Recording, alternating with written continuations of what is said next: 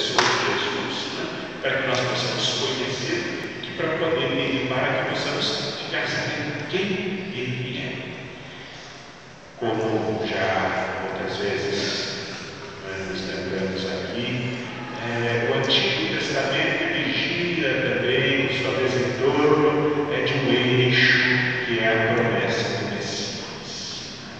Deus promete que vai enviar alguém, enviar o seu, um seu, né? a palavra Messias, né? de origem hebraica, né? para o grego a palavra Cristo, quer dizer um ungido de Deus, é uma escolhido de Deus, enviado por Deus para realizar o projeto de Deus em relação à humanidade, para dar um sentido novo à história, libertarmos mais e nos conduzir pelos caminhos da felicidade, da vida. Então, o Messias vai sendo anunciado ao longo do Antigo Testamento, e o que Marcos quer mostrar é que em Jesus as promessas messiânicas se realizam. Jesus é o Messias, Jesus é o Cristo. Cristo não é sobrenome de Jesus, Cristo é o título. Messias, ele é o Messias, ele é Cristo.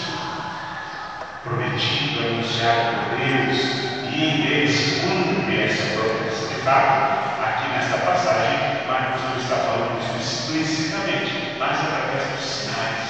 Porque os sinais que Jesus realiza, a maneira como ele age, é que revelam quem ele é. Quando ele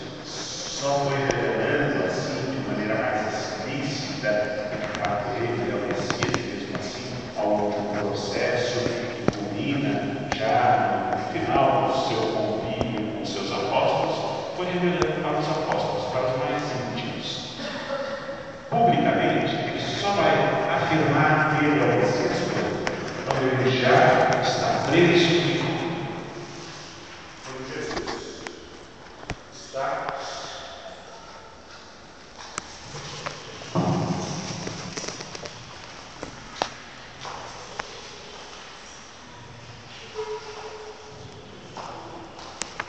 quando Jesus está já condenado à morte, então ele vai revelar que ele é o Messias. Por que não revelar isso? A expectativa em relação à vida do Messias naquele tempo era muito grande. E a concepção que se fazia do Messias era